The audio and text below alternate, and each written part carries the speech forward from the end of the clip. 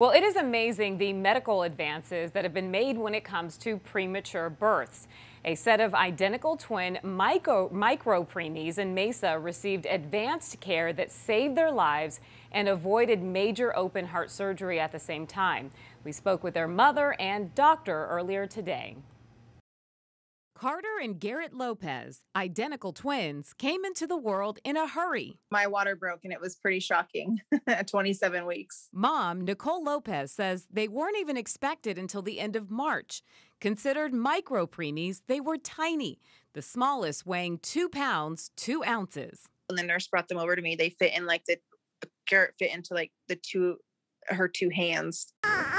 The babies were also born with a heart condition called PDA involving an opening between blood vessels that normally closes on its own after birth, but theirs did not. If the PDA doesn't close, then it puts extra workload on the lungs and on the heart and in a premature baby, it, has, it can actually damage the lungs if it's left long term. Dr. Dan Miga, a pediatric cardiologist at Banner Children's Desert, did a procedure that's only been available to older children.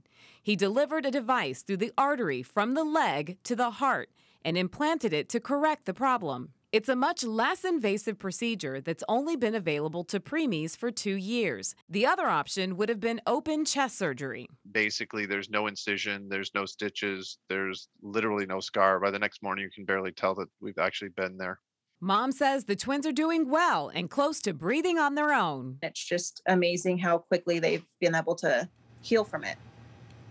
And the best part of all is doctors say the twins will be monitored but shouldn't have any further heart issues as they grow up.